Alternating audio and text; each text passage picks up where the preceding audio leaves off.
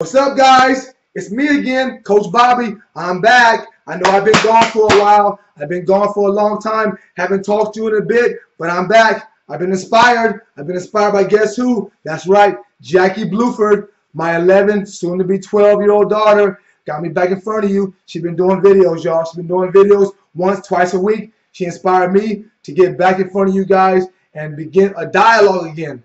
Let's get back to work, guys. All right, so what's today? What's today? December 18th.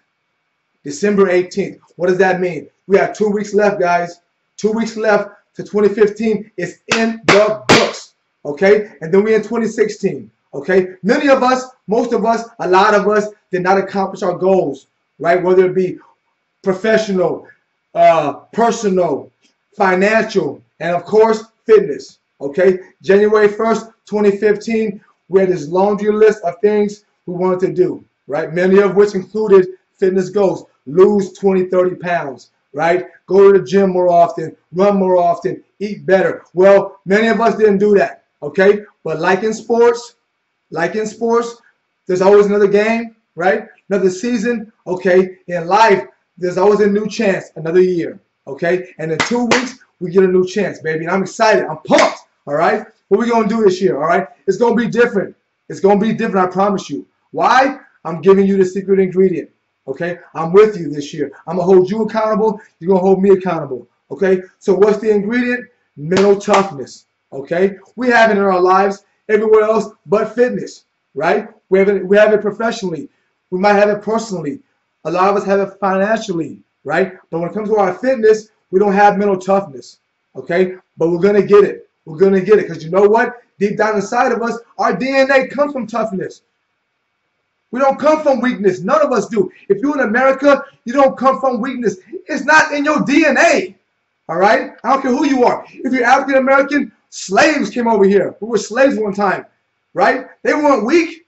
Right? If you are Assyrian or Latin or German or whatever you are, your ancestors, right? Not even ancestors, two, maybe three generations ago, they came here from abroad with nothing right? They endured a lot, little money, okay? They got through it.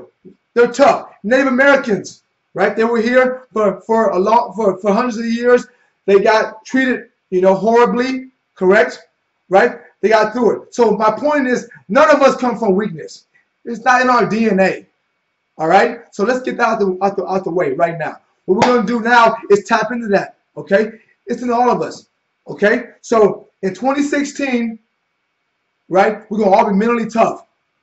Whatever we decide to do on January 1st, we're going to accomplish through mental tough, through discipline, and through consistent action.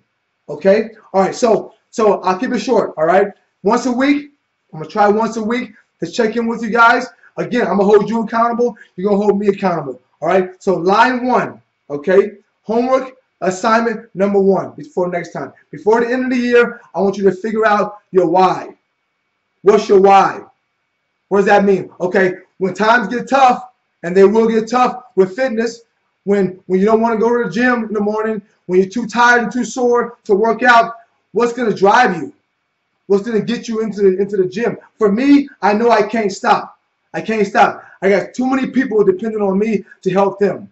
Okay, so I can't stop. Right? Your why has to overcome all the pain and the frustration. So before now, between, between now and January 1st, I want you to figure out what your why is going to be. Okay, what's the reason beyond how you're going to look? What's the reason that you want to get in shape?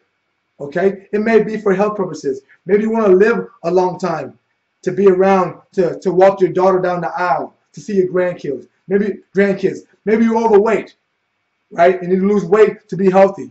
Okay, maybe you want to set a good role model for your kids. All right. Maybe you want to look good for a cruise or a wedding. Okay. Whatever it is, I want you to figure out what your why is and make it strong enough, guys.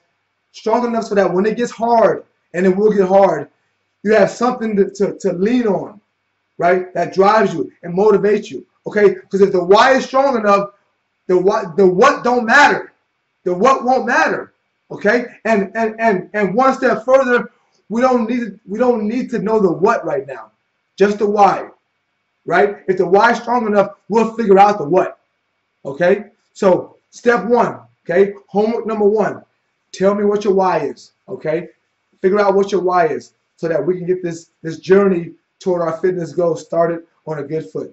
All right? Until next time, I want you to write down what your why is, okay? And let me know what it is. Be accountable to your, to your family and friends, all right? But most importantly, have something that drives and motivates you, all right? So until next time, uh, again, right? Until next time, this is Coach Bobby. I'll talk to you soon.